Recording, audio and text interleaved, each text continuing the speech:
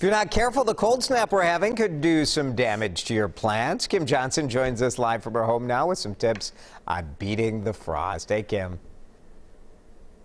Hey, Jason. Yeah, mid morning gardening expert Rebecca Coles reached out to us with advice on how to protect your plants before the freeze and what to do the morning after a freeze. Rebecca says water plants well.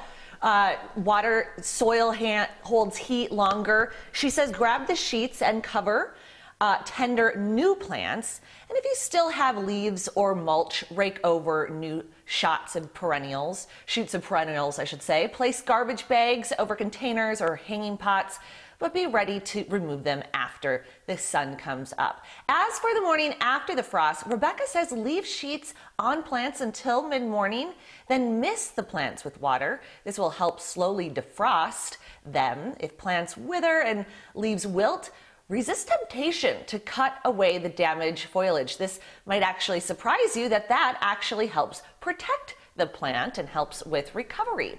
Now, Rebecca says frosty nights are not over. If your garden lucked out, be ready. Be sure tonight um, because it looks like it's going to be another cold one. But yeah, Jason, I thought that was so interesting that it's actually not the frost itself that damages the plants, but it's the defrost of yeah. it.